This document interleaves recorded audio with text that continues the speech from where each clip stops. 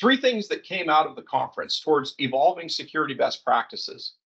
One of them is the growing compliance requirements. And we're seeing this whether it's a company that's doing business with the federal government or doing business with healthcare or doing business with particular states or even just trying to get cybersecurity insurance. There are evolving compliance requirements such that businesses are being held to higher and higher standards to be good stewards of their cybersecurity, have strong cybersecurity in place, and be ready to respond if they had a cybersecurity event to minimize the risk to whomever else they're doing business with. The concept of software bill of materials is an important thing towards also defending against what are known as supply chain attacks or supply side attacks for software vendors. Uh, there have been several documented cases recently where threat actors have gone after a particular company or a group of companies or an industry by identifying the line of business applications or even the productivity applications that they use. And rather than attack the business directly, and rather than attack that application directly, they'll look at the application and say, oh, the software vendor wrote that application using software from five other vendors.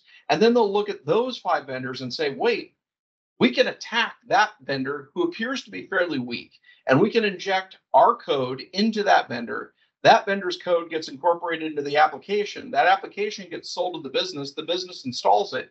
And now we've got a way in to these downstream businesses that don't even realize that they're running the software from the vendor that we attacked.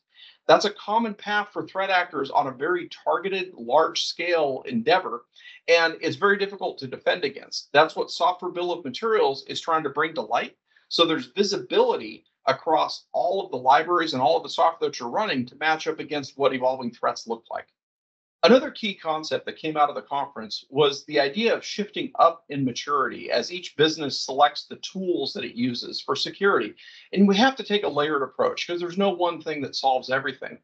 Originally, the conversation was about finding the best tool for the job, but there might be 5, 10, 20 tools required in a layered security approach. Today, the conversation is really about finding the right suites of tools that work together that can give you a single pane of glass or a single policy management tool set to handle as many aspects of your security in one place in a consistent, cohesive way as possible. So we're seeing vendors moving away from let me build one more tool that's going to go live by itself that has to be managed separately to let's build tools that can then talk to other tools that are in a similar family or designed for interoperability. And the result is you end up with higher security overall.